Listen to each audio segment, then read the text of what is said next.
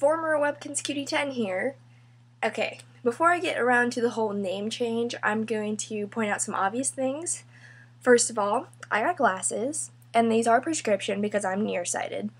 So, this is my first pair of glasses ever. Because we just found out this year. And my hair is red, even though it looks kind of brownish black in this light. It's actually red. And I dyed it pretty recently. So that's kind of what's new with me. Yeah. Also, very sorry I haven't posted a video in like five months. I feel awful. But it's summer and I have decided to like re give my channel kind of a makeover, I guess. It's still going to be about dolls, trust me, it will, because dolls are my life. Just let's get around to the whole update part of this because yeah, new stuff has happened. So the thing is, um, the name Webkinz Cutie 10 is no longer the channel name. It is now Haydolls, which is also the name of my blog.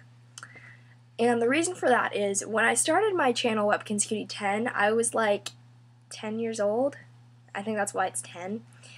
And so um, I thought I was going to be making a bunch of videos about Webkinz. There happens to be only one video about Webkinz on my entire channel. And I thought I should do a name for my channel that's more accurate to the videos I make so people aren't misled by the name Webkinz Cutie 10. So it is now Haydolls. And I got that name because the name I'm going to be going by on this channel now is my actual first name, which is Hayden. That would be H A Y D E N. Hayden.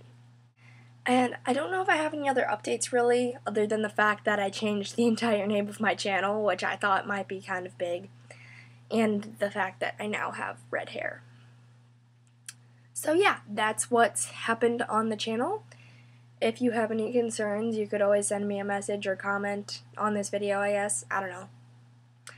Oh, and one more thing. I'm also going to be posting a few reviews that are from last year, 2013, because um, I got them done, but I never got around to editing them and then I didn't post them. And I feel bad that you guys haven't been able to see them, so I'm going to post them.